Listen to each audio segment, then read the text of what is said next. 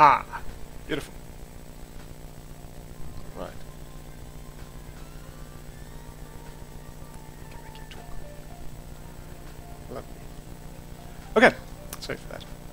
So, um, my name is Simon Ratcliffe, and uh, I work for a project called SKA South Africa, and it's basically a government-funded entity um, set up with uh, three purposes in mind. This was established in 2005, and uh, our original thinking was to pursue three avenues. The first of which was a human capital development program, and um, that was mostly to provide bursaries for a wide range of students to get involved in, in engineering and computing. And uh, to date, we've had uh, over 400 bursaries through that program in the, in the seven years it's been running.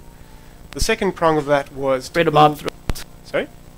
this implementation. So lots of if status in blah blah blah then else if state if If then else. I'm back! Wait, okay, right. I think we should do that. We should cross audio from the two venues. It would be a really entertaining spectacle. I'll try and mime out the words as we go. So we'll see how it works. Okay. The second prong was to build a radio telescope that would be of a world class. And uh, we're currently in the midst of building that. It's known as MeerKAT, and it should be complete by 2016. The third leg was to compete for an international project known as the Square Kilometer Array. This is a radio telescope some 100 to 1,000 times bigger than any that's previously been envisaged. Uh, it's a project of the order of 3 billion euros, and uh, it was first mooted in 1990. There was a long competition for, for the site. Eventually came down to ourselves, and uh, I think the Australians are bugging this since I'm going to mention them. Ourselves and our erstwhile brethren, the Australians, we were competing to, for the rights to host the Square Kilometre Array, and in May this year we were awarded 75% of the SKA, and the Australians got 25%. So from that point, we've been quite successful. So who's heard of the SKA? Let me see. That's brilliant. I don't even need to talk about it. So I'm not going to. Uh, what I'll start off doing is just a little interlude, and I'm going to talk about optical astronomy, radio astronomy, kind of how it works, what the science is behind it. So feel free to fall asleep if you want until I start talking about Python about halfway through the talk. But uh, if you're interested in some little bits about what we do, I'll start off with that. So, in the beginning, long ago in the 1600s, optical astronomy. I won't talk about Galileo because he only had a one meter telescope, which was pretty wussy. But this guy, old Hevelius, 64 foot telescope, you know, that's the, the way to do things properly. He built a 144 foot telescope, but it broke in half. And then they decided, you know, this was the, not such a good idea, and uh, refracted telescopes kind of uh, met their logical conclusion, and we invented reflectors, and optical astronomy has been going for sort of 400 years.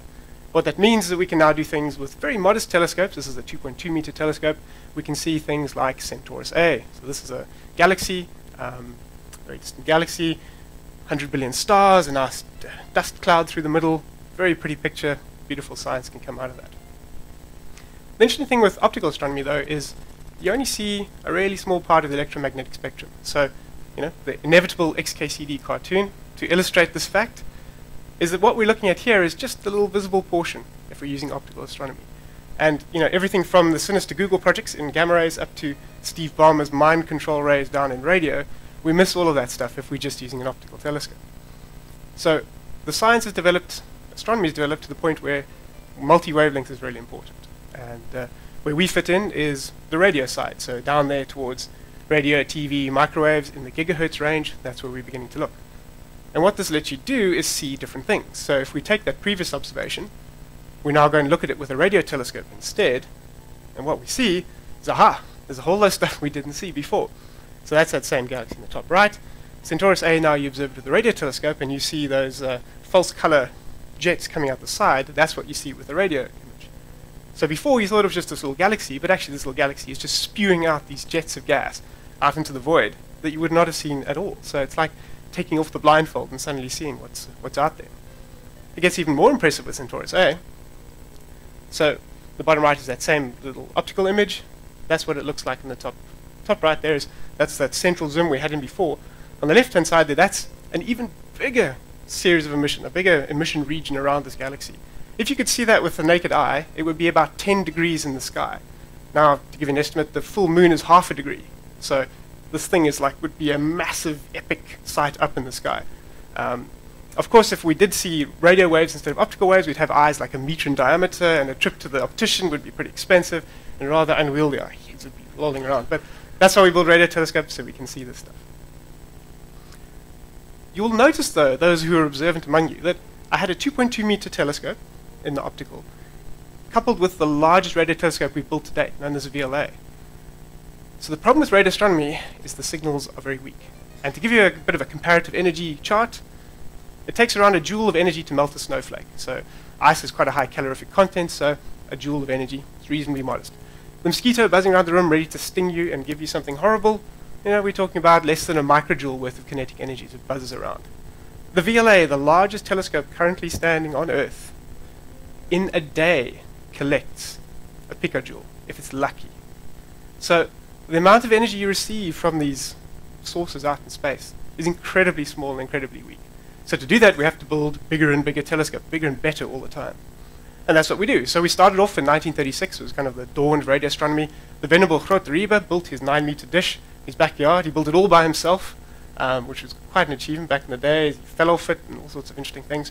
So we built bigger and bigger dishes as we went. In 1955, we built the Lovell telescope out in the UK in Jodrell Bank, 76 meter. That was too small. We need a bigger dish because, you know, we're astronomers, so we need big things. The 100 meter dish in Effelsberg, which is really impressive.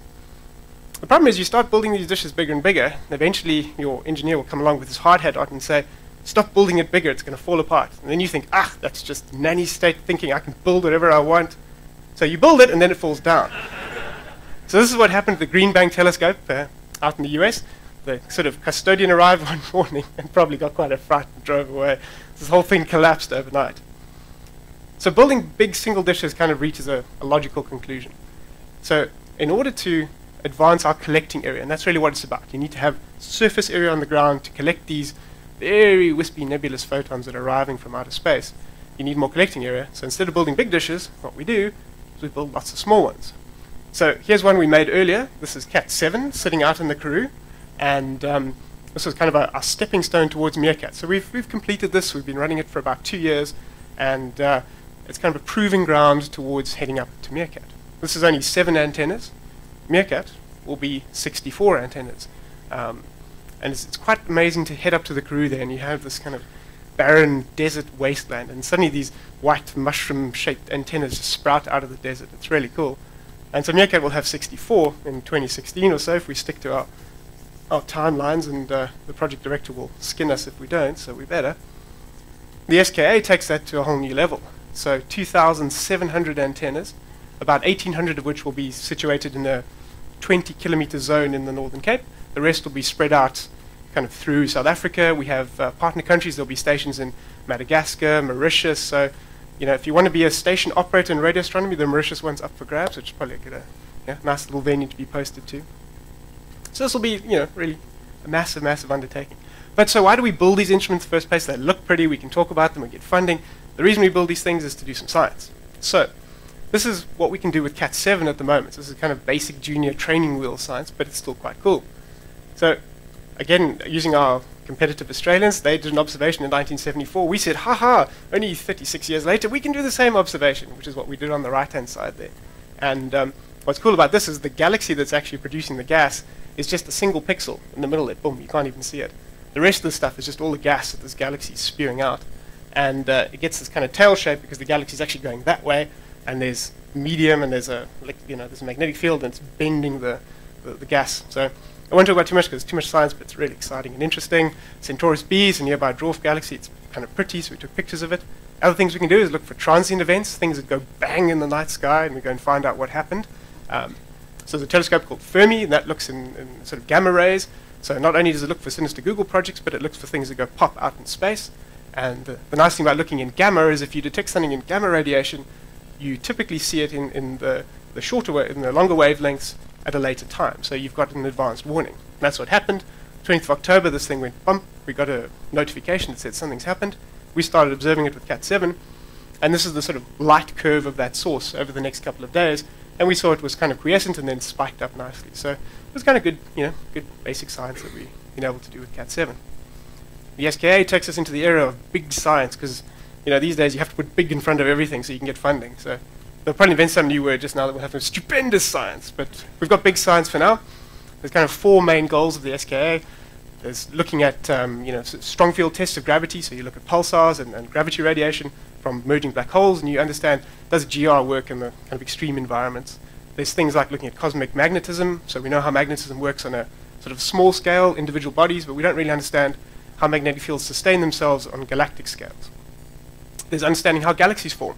And this is kind of the question of dark matter and dark energy. How do you form galaxies? Do you have a dark matter halo and the matter infalls and turns into stars, or do you just create stars and then they bash together under gravity?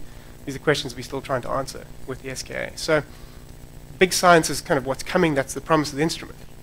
To do big science, you need big iron. So don't worry about too much about this slide. It's got some numbers on, which you've got to memorize, because I'll refer to them later. But basically, there's lots of computations, lots of data flowing. Radio astronomy is basically a data science. The headline news is this, though, the SKA, an exabyte per day worth of data. And that's not even the raw data. That's kind of reasonably useful data we need to look at. So it's quite a bit of data. So I was trying to think about how to, how to visualize this, and it's impossible to visualize it. You can put all the numbers out, politician style, which I'll do. But um, this is my attempt at visualizing it. If you take Constantiaberg, which is a reasonably big mountain, ignore Devil's Peak in the background, take Constantiaberg and put it in your Blendtec 5000, turn it into sand, pretty much beach sand consistency. Each grain of sand uses one bit. That gives you roughly an exabyte worth of storage. So this is left as an exercise to the reader. Go home, get your blender out, try and figure out how it works. But that's, it's, it's just impossible to visualize how much data this is. It's just data, data, data, data. Fortunately for MeerKAT, we don't have this big data problem, we have medium data problem. So for medium data, take an iDevice and give it to all the friendly fanboys in the teenage bracket in the world, 1.1 billion teenagers. Take their iDevices away, put them in the blender again, much to the sobs and dismays, and you end up with not an exabyte, but a petabyte of data a day, which is a little bit more manageable. Terms and conditions apply, disclaimers, etc. So, dealing with this medium data, this is what we're doing for MeerKAT. So it's a bit of a boring slide, lots of numbers. Essentially, the take-home message from these kind of slides is to say, we've got a lot of things that need to happen to our data. It comes in quite a raw form. We need to do quite a few transformations. We need to analyze it. We need to look for artifacts in the data. We need to look for defects in the data, correct those in kind of high speed in real time. Um, you'll see some numbers in our flows. We have you know, hundreds of gigabits a second coming into various streams, uh, 10 petabytes of archive storage, which will be quite big out in the Karoo. So we're building a big data center with a big hole um, out in the Karoo to, to house this. A whole lot of uh, bits of infrastructure that need to go into building this telescope, obviously, which will eventually map to a whole lot of software. So I'm first talking about a bit of hardware, boring, boring, boring, and then we'll talk about software. But I just want to give a flavor for how we are tackling the problem. One of the ways we tackle big data and big challenges is to parallelize. So you're all familiar with parallelization one of the things we have as an advantage in radio astronomy is we have a natural axis of parallelization. So we observe a certain band of spectrum in the sky, a certain range of frequencies, and we can pretty much process each of those frequencies independently. So the kind of like coarse-grained top-level parallelization we get is quite useful um, because we can immediately split things up, as you've seen here. So we tried to take that parallel idea a bit further forward. We have a parallel file system on top of which we have a parallel file container. So we use HDF5 Anyone here tried to do parallel stuff with HDF5? You can tell us how to actually do it. It doesn't work too well. Anyway, we're trying. We're getting. It's getting better. But um, using things like Lustre as a parallel file system is fraught with danger. We can't afford GPFS from IBM, so we'll hopefully make it work at some stage. Um, we have much finer grain parallelization as well. Again, it's just a pretty slide with little things moving around. But the idea is to indicate that at a third tier of parallelization, we have this very, very fine grain stuff. We use GPUs and accelerator technology quite a bit. Um, that's where we want to really do things, very, very lightweight computations in a massively parallel way. If we were going to build this thing yesterday, we could do it. Um, it's just to show that you know there's some bits and pieces and throw some hardware at it and the thing happens. If we were going to build it today, we'd use probably the only thing we'd change is instead of using GPUs, we'd use this thing called the Xeon Phi or Knight's Corner or Knight's Ferry or Larrabee or whatever you want to call it. Intel keep changing its name. Essentially, this is the middle ground between four or eight cores on your CPU and a million threads on your GPU, it gives you maybe 100 or 200 true x86 threads um, in, a, in a nice package, a PCI Express board or on a single die. So it's quite interesting technology. If I was going to build this tomorrow, this is what I would do, what I'm trying to do. We've got this project underway to build something called IronHive. Basically, again, I take all these i devices before I grind them up. I take out their chipset, a nice A6, put them in a big box, and uh, you kind of get this like supercomputer that's very optimal for our needs because what it has is it has lots of I.O. compared to how many flops it has. So you can see we've got this, this sort of nice little box that we can throw out in the field and have this supercomputer that sits out there. And I'll get back to why Python is a good fit for us, particularly because of the, the low computational density or computational intensity of, uh, of our computing problem.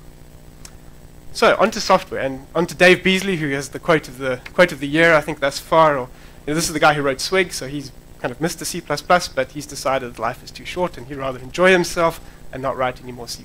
So I heartily agree with that message.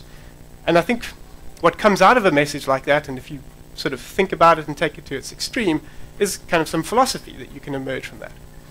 So I am hesitant to use the word agile because then we have to start scrumming, and I don't want to do that. But develop in an iterative fashion is, is kind of the, the, the, the kernel, the essence of that. You know, develop small steps. Don't just try and do the whole thing in one shot. Common elements. So my favorite common element that everyone uses is CORBA, which is just oh, horrible. It's not lightweight and it's not simple and never, you know, it doesn't help you at all. You end up just maintaining CORBA rather than doing anything else. So common elements are great, but they should be lightweight and simple and easy for people to pick up and understand. Um, test as you go. We've talked about this a bit. Deploy intelligently. Alex talked extensively about how to deploy well. So, you know, I really second his argument about being able to deploy a revision and roll back to a previous revision really simply. That helps a lot. Solve today's problem, not tomorrow. It's very tempting to think, oh, I'm embarking on this grand challenge. I'm going to build this architecture that's going to scale for a million years, etc., etc. But you never get around to solving today's problem, which is much simpler. So you have to kind of temper the enthusiasm for building a grand edifice with getting the job done. Allied to that is that done is the engine of more. You can't get to the next task, as obvious as it sounds, unless you finish the current task. And you know, there's a lot of not finishing the current task because we're trying to optimize and make it perfect. So simple is better than complex. It goes back to how we how we talk about common elements, but simplicity is quite hard to engineer in many ways. It's often easier to throw down quite a complex solution than to think about how can we make this as simple as possible. Optimize last. So this is my favorite thing to do in some ways, I think if you start and you sit down and you write C, you're almost optimizing first. You're immediately assuming that I have to write this optimal solution. So you sit there and you start, and, and you know, it, it's great. You know, I've done it in my time, and you end up with this wonderful thing with this beautiful pointer arithmetic, and you think, ha, no one else will ever understand this. So I'm very proud of myself. But that's kind of optimizing right at front, and then, you know, I think that's, a, that's, that's not the way to go. Commodity is king. Use what's out there. Use what people are, are, are putting money into and impetus into. And so the final thing that, that I always like to say is perfection is an illusion. You can never achieve it.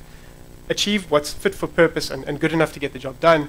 Don't seek perfection if you don't need it. So all this philosophy is wonderful, and of course what it brings you to is Python. The only thing that fits all our philosophical goals and matches what we need to do is Python. So as the SKA project, and uh, my colleagues from uh, the rest of the software team will be talking more extensively in more detail about our Python use, we use Python pretty much everywhere. It's all over the show. So around about 30 in-house modules plus dependencies on all the usual suspects. These are kind of the ones we use quite actively. The other ones that we you know we test out and in the process of using. But uh, it's again that kind of community feel of Python that uh, that we enjoy. So the same slide now with its hovercraft being full of eels. For those Python fans in the audience, we sort of you know Python for us is encroaching everywhere. My personal goal is to see how far we can possibly take Python and I'm hopeful that by the end of building MeerKAT, this will just be this Pythonic blur, and uh, you know everywhere is, is deeply Pythonic. To talk through a few of the little highlights, and I won't talk too much about some of these because they'll be mentioned by my colleagues. Um, it almost starts with the fact that we do all our control stuff in, in, in Python, and particularly we use an IPython shell to run the instrument. So, you know, we have more elaborate, uh, you know, GUIs and, and, and, scheduling systems on top of this now. But basically, you can just fire up an IPython session, type configure, and you can get access to the entire facility. You can control it, you can monitor it, you can do whatever you want.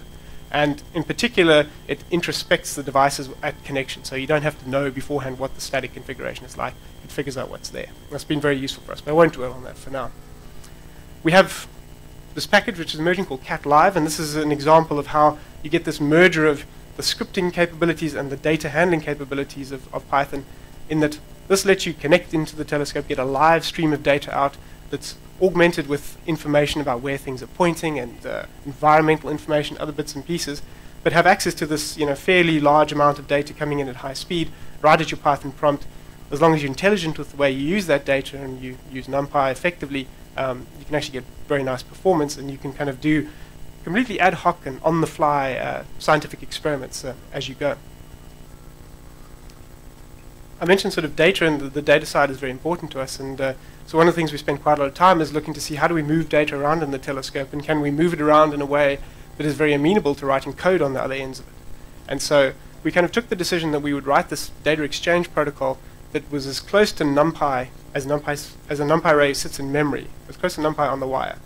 So you can basically imagine it as a NumPy transport, particularly a NumPy transport that's optimized for different kinds of devices. So currently we have FPGA implementations, we have normal CPU implementations, we have uh, sort of GPU optimized ones where you do kind of zero copy into the GPU, all marshaled and 99% of the code is, is Python. And uh, because we don't need to change the data structures, because we can just you know kind of do a zero copy from the, the, the NIC buffer into, into kernel space, that saves us a lot of overhead, and that means we can be really fast, even though we're using the slow language of Python. So it's on our GitHub along with lots and lots of other stuff. So if you're interested in, in seeing that, you know, go and have a look. There's a whole lot of stuff on that there. A bit about data storage. So I mentioned HDF5, which we use as kind of a scientific data container. Um, it's a really nice file format. It gives you kind of a hierarchical uh, data set, and you can put attributes on it. It's, it's a really interesting thing. But it's quite well. We found it to be quite slow originally. So we used we used H5Py, which is one of the Python wrappings for it, and we were kind of five to ten times slower than disk performance, which is pretty poor. So we wrote a kind of a benchmark with a whole lot of uh, test suites, and I won't bore you with these slides and all that stuff here. The bottom line is our original optimal set of parameters was completely wrong. Everything we had thought was our optimal way to construct this data and access it was, was off. And um, in particular, what we discovered was by using PyTables, which is an alternate, effectively an alternate implementation. Um, it adds quite a lot of stuff onto it, but the one thing it does give you is something called BLOSC, uh, which is a block level compression technique. Essentially, what you do is you take your data and you compress it in blocks, but you size those blocks to fit to L2 cache of your CPU that you're working on. Then, when you want to read that data, you copy that block into L2 cache, and then you've got all these spare CPU cycles floating around, so you use those to decompress this block on the fly. And the upshot of all that is basically the second blue bar which says that our raw disk performance, which is the first column, 244 megabytes a second. This was uh, an, an, an, SSD. Using PyTables and using this BLOSC technique, we got to 273 megabytes a second. So this is the this is the speed of getting the data off disk into memory available for NumPy to use. So it's faster than the disk and faster than the C implementation. Of course, the C implementation could use BLOSC and so and so, but the point is I didn't have to write any code to be faster than the fastest optimal C case I could come up with. And for us, this is really a key of why Python works in our HPC side of things, is because, in my opinion, Python, in terms of the way you can do I/O and the way you can do data, you can get that very, very close to the maximum performance you can get out of your machine anyway. If you throw some cycles, if you burn cycles along the way, who cares? My CPUs spend most of their time doing nothing, just burning cycles. So if I'm 10 or 15% slow on the CPU side, that doesn't affect my problem. Obviously, that's just our problem, but it's it's an interesting case if you think about where where to optimize and where not to optimize. Other thing we're doing, these are some sort of more toy examples. Um, we have, we spend a bit of time, we use matplotlib a lot, and so we thought, well, matplotlib is great, but anyone who's tried to use matplotlib over an X-Forward knows that it's really, really horrible. So we wrote a web, a web version of it, essentially, HTML5, using WebSockets, and um, so we use this currently for our, our live signal displays of the telescope, so the operators kind of get a screen that shows them what's happening in the telescope. You can view various parameters, and that's kind of web delivered and, uh, and quite nice and quick. So, aha, the demo, lovely. Right, demo time. So this is where it all goes wrong. Depends if you're. Oh, fortunately, my computer rebooted, so I shall have to. So has anyone used the IPython notebook much? One person, two people, three people. Oh, it's growing as we go, so eventually everyone will have used it. Excellent. Well, you can count yourself as IPython notebook users now. Um, so IPython we use extensively, as I said, and um, there's an IPython notebook which is basically kind of a web interpreter, if you like. So that's what it looks like. What's nice about it is it lets you kind of it lets you save your session. So I've got a saved one there as my H5 demo. Um, you can run each line, you can rerun lines, you can run it interactively. It's got a lot of really nice features. The thing it didn't have was decent, it didn't have interactive plotting. It could have inline plotting, so you could do a plot and you'd get it in line, but it would be static. So we sort of hacked together this demo um, using our MPL H5 canvas library. So who's used pandas? Yeah, pandas is really cool. And uh, so this is just a demo kind of stolen from the pandas guys. and um, I'll just run that. So all I've done is I've read a CSV file in, which has got some nice uh, stock market prices, and uh, I'll plot that up. So what would have happened previously is you would have got a static plot. What you get now is you get actually a dynamic plot. So you can zoom in, do whatever you want. You can go home. I mean, it's interesting thing looking at the side screen. Ah, you can switch to pan mode if you want as well, pan around, that kind of thing. So what's nice about this is that plot stays active for your session. So you've done it and you've created it and it's there. You can go do other things. You can change the data underneath it and you can come back and, and do some more stuff there. So um, what I actually find is quite useful for, it's doing over there, is uh, so you create a new figure and then you want to sort of you know plot some stuff up and oftentimes you kind of plot and you're not quite sure what you're trying to get to. You, know, you want to plot something and see how it looks and maybe set a title. Ooh. Work. It's supposed to say attendance. Forget that it doesn't say attendance. that kind of thing. Um, then maybe you know you decide, oh, that's no good. I want to actually change that. So you then do some sort of. Apologize, I can't see the screen. Not as good a typer as Armin. He was very good. Say five, one. Gonna work? Yeah. No. Does no work? No brackets. No brackets. Three. One, two, three. One more brackets. More brackets. Interstep argument got to float. Ah. Sorry. NumPy. arange. Come back here. arange. Ah, yes. So that would be the attendance curve if people were drinking heavily, they would attend more because there was free booze, and then they'd pass out and it would disappear again, that kind of thing. So your curve would come and go. The bottom line is it's very useful to be able to interactively plot because you can go tick, tick, tick, tick, tick, figure out what it is. You can have all your commands saved in the history. You can save this, let other people connect to it, and continue working with it. So if you're interested in the notebook, I mean, if you're interested in sort of the way IPython does interactive Python, and you want to, particularly for exploring data, check out the notebook. And uh, if you want interactive plotting, check out the interactive plotting, which we will um, release out soon to the world, hopefully. Uh, right, let's go back. Demo, that was the page in case the demo didn't work. So, another thing we've spent quite a lot of time on is looking to see at um, things like mathematical optimization. So a lot of our problem involves doing fairly complicated optimizations, uh, things like uh, a lot of convolution, there's a lot of nonlinear processes. So we've been looking at these and identifying them sort of piece by piece and deciding, you know, is the current implementation use, you know, useful to us? Should we use it? Should we write something new? And uh, the nice thing about kind of writing something new is that you can take what was previously written in Fortran or C or C++ and write it in a kind of a Pythonic mindset, and particularly a mindset that's suited to what we're doing. And oftentimes, because you've come up with a better algorithmic way to do it, you're faster anyway. So an example of this, and it does a lot of other things, is the compressed sensing toolkit, which my colleague Ludwig Schwardt has written. And if you want to know all about compressed sensing, ask him, not me. Essentially, compressed sampling or compressive sensing is about saying, if I've got a, a big sort of n-dimensional space, but I know that the signal inside it is very sparse. So imagine a big patch of sky, but it's only got, say, five stars in it, or 10 stars, little point sources in it. So this matrix is mostly sparse, massively sparse. What this says is that you don't have to fully sample as you would expect to, like in a sort of a Nyquist way. You don't have to fully sample your, uh, you know, don't, you don't have to fully sample the, the space to figure out where all these points are. Um, and I'll show you a, a, picture of what that actually looks like. It's much easier to see in a picture. Um, so essentially, it's a, it's a, whole lot of methods that are inside this compressed sensing toolkit. Uh, things, nice names like orthogonal matching pursuit and basis pursuit, but different ways to to find these uh, these these sparse signals hidden in your you know, sort of massive data. And what that looks like, if you sort of try and visualize it, is that um, we have some reference image of the sky on the top left there, which is you know nominally quite sparse. It has a little bit of information in it. One of the problems with radio astronomy is if you do quite short observations, you get a lot of corrupting influences, which is the top right there shows you know all these sort of corruptions that have occurred. The state of the sort of traditional state of the art of radio astronomy in the bottom left there, if you ran it through, that's the image you would get with quite a lot of corruption. The compressive sampling technique gives you the right-hand side one, which not only is better, but it's five times faster than the C++ clean implementation. There's a lot of reasons for why it's faster, but it's the bottom line is it's still a much shorter Python script that's much quicker than this huge C++ edifice that, that did that. So if you're interested in this stuff, speak to Ludwig. He'll tell you about it.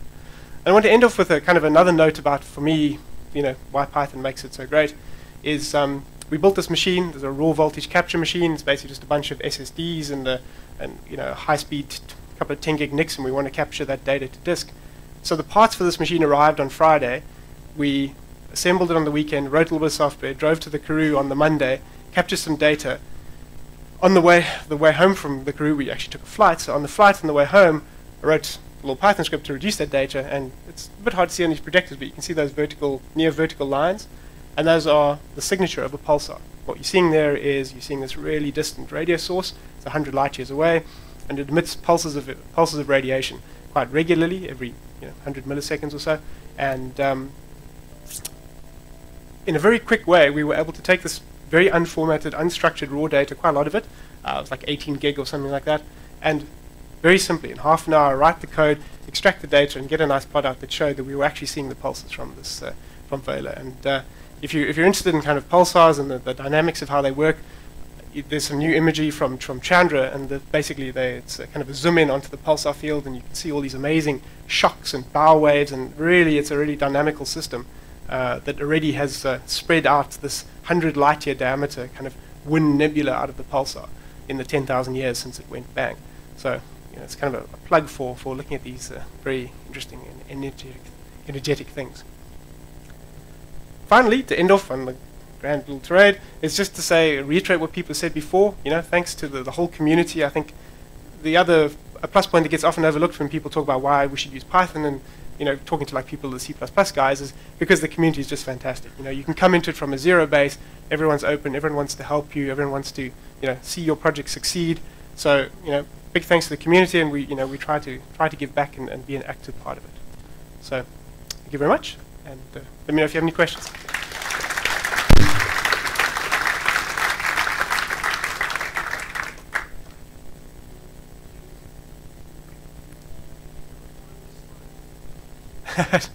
um, sorry, I'm sure they'll be posted on the Simon. Are they going to be posted? Anyone know if they can be posted on the PyCon Otherwise, uh, I can mail them to you if you want. But I should put them up somewhere useful. I'll put them up somewhere useful and we'll make sure it gets sent out, yeah.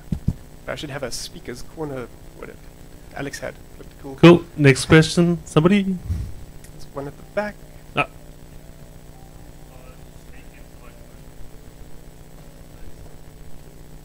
Uh, just an astronomy question. Um, there's been quite a bit of talk on the internet about uh, Nibiru or Planet X uh, with Google uh, apparently censoring a piece of Google Sky, putting a big black box over a part of it. Um, just wondering if you have any knowledge or opinions on that? Google it's a bit off topic for Python. Yeah, sure. No. Um, uh, no, I don't really have any particular opinions on Google's censoring of the sky. Uh, you know, I think if you're referring to Planet X, some sort of 10th or 11th planet or 8th, 9th planet now out there somewhere influencing the, the, the, shape of the orbit of the, of the solar system. I mean, sure, you know, there's, there's sort of some unexplained orbital phenomenon to be had. I'm not sure why Google would censor it, um, but uh, perhaps it warrants further investigation. So we shall, uh, we shall train our eyes thuswards and see what is there and reveal all to the world. More questions? There's one over there.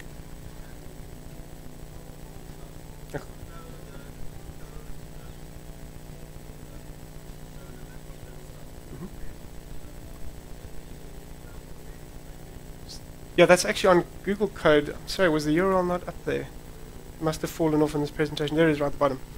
Code of Google MPL H5 Canvas. So basically, I mean, we wrote it, particularly the reason we wrote it was we were just tired of installing TK and GTK and whatever backend to use. So it's pure Python, has no, well, has one dependency on a, on a, on a WebSocket library because, we, again, we were tired of writing new WebSocket standards every time it changed.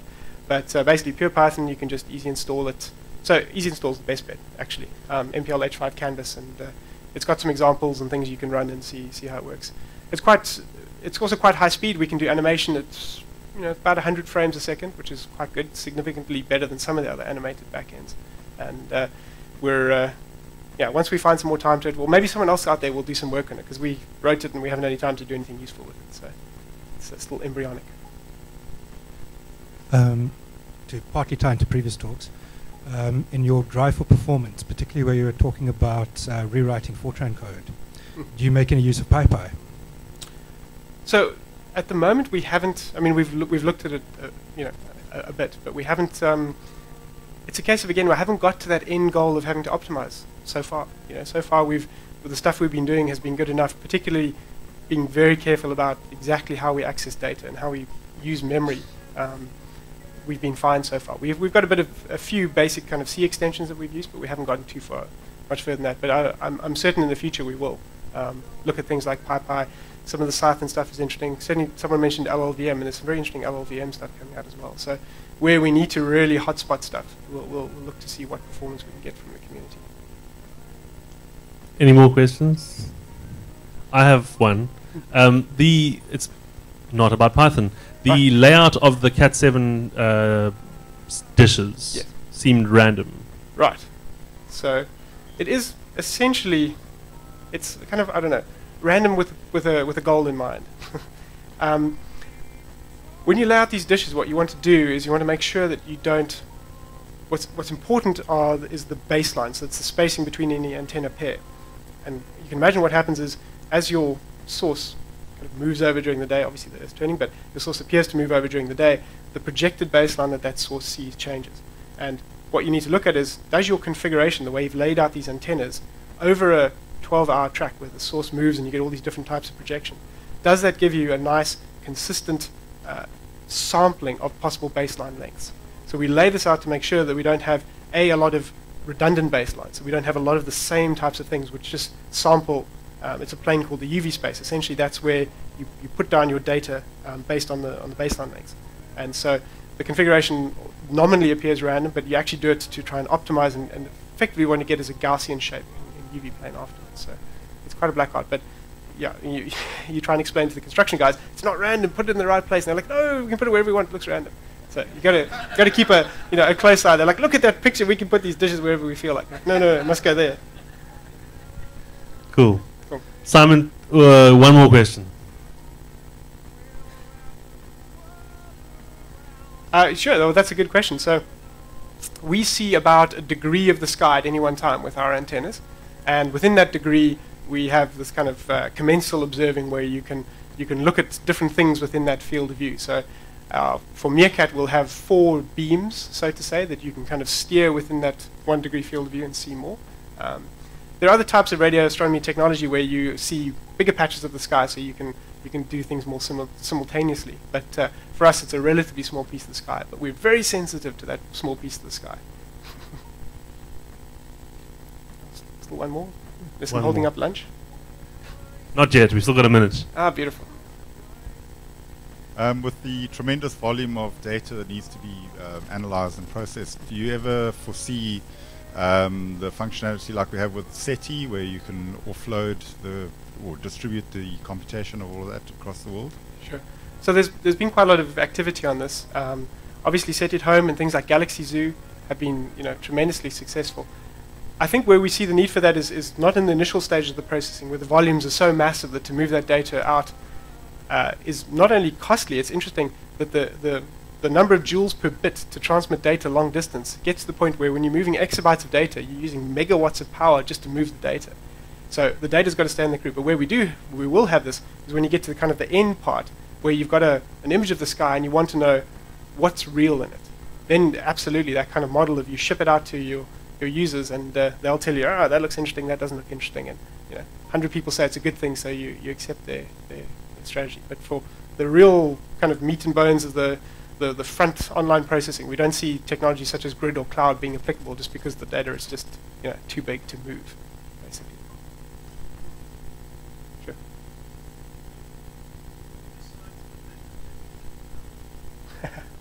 So at the moment, uh, the, the beauty of building KAT-7 is that, uh, you know, here's one we built ourselves. We just decide what we want to look at as it goes.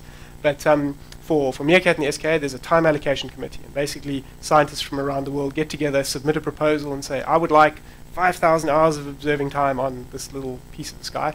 And they justify why. And then that committee meets and essentially allocates time. But it's not paid for. So it's, you know, basically, if your proposal is accepted, you get free access to the, the telescope. It's provided as a service to the, to the community. Cool. Simon, thank you very much. Cool. Thanks.